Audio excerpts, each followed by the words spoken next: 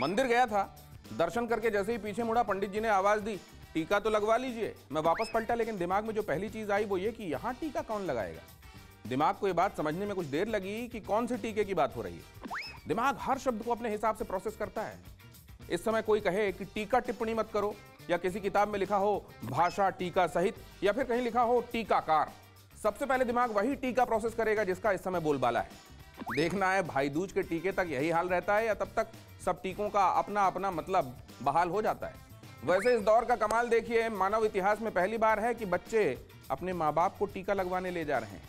बाकी तो जो है तो है। फ़िक्र आपकी, सोमवार से शुक्रवार, रात 9 बजे, सिर्फ़ टीवी 9 भारतवर्ष पर।